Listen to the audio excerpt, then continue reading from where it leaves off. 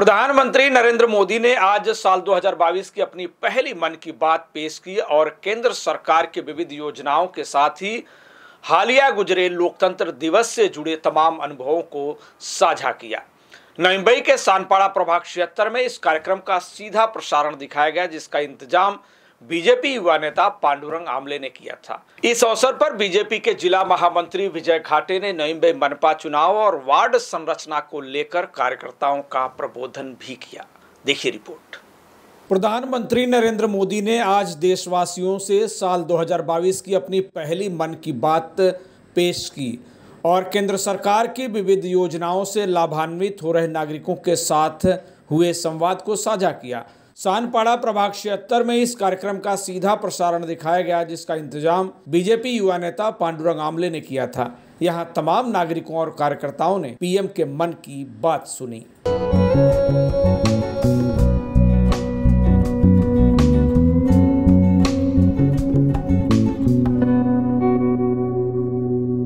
इस अवसर पर बीजेपी के जिला महामंत्री विजय घाटे ने नई मनपा चुनाव के लिए घोषित होने वाले वार्ड संरचना को लेकर कार्यकर्ताओं का प्रबोधन किया और जीत की तैयारी में जुटने का आह्वान किया। वहीं युवा समाज सेवी पांडुरंग आमले ने अपने जनसेवी कार्यों की जानकारी साझा की। इस दौरान साई भक्त महिला बचत गट की ओर से तमाम महिलाओं को धनादेश का वितरण भी किया गया।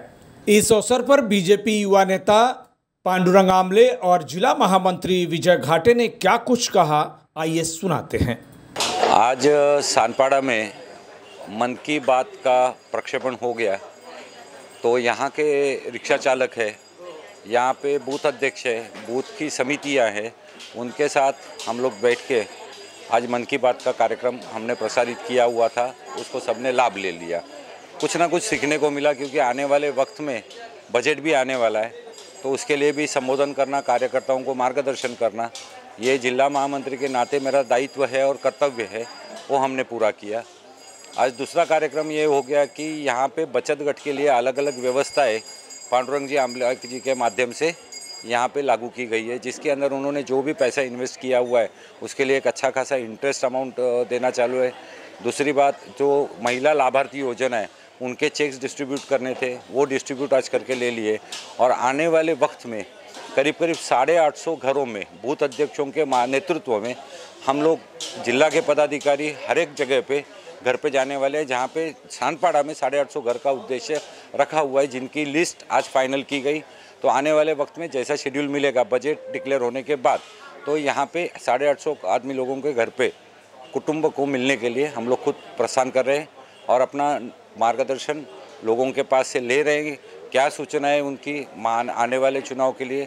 इसका सारा हम लोग जायजा ले लेंगे। 2022 की आज ये पहले ही मन की बात थी। आज हमने सानपाड़ा में हमारे ऑफ़िस में बड़े पैमाने पे हमारे यहाँ पे हमारे हित चिंतक हमारे फ्रेंड्स हमारी महिला ये कार्यकर्ता मन की बात के लिए आए थे। तो बहुत अच्छा मार्गदर्शन हमें पंतप्रधान नरेंद्र जी मोदी इनकी तरफ़ से मिला और उसके बाद हमारे महामंत्री घाटे जी ने भी अच्छा मार्गदर्शन हमारे प्रभाग के सारे समुदाय को दिया, हमारे महिलाओं को दिया। इसके अलावा आज हमने साई भक्त महिला बचत गट की जो स्थापना की थी और हमने जो कमिटमेंट दी थी कि सारे बचत गट के महिलाओं को हम लोग एक भेंट स्वरूप या तो फिर उनका जो भी जमा पूंजी होता है उसके ऊपर हम लोग एक दस तक का इंटरेस्ट हम लोग देने वाले थे। उसका पहला भुगतान आज हमने सब बचत गट को हमने दिया है। यहाँ के स्थानीय नागरिकों ने भी मन की बात का प्रसारण इंतज़ाम करने पर खुशी जताई और कहा कि युवा समाज सेवी पांडुरंग आमले जिस तरह प्रभाग क्षेत्र में विकास और जनसेवी उपक्रम चला रहे हैं वह सराहनीय है। इसलिए जनता उन्हें समर्थन ज़रूर करेगी। आमले जी जो काम कर रहे हैं वो बहुत ही अमेजिंग काम इस एरिया में कर रहे हैं।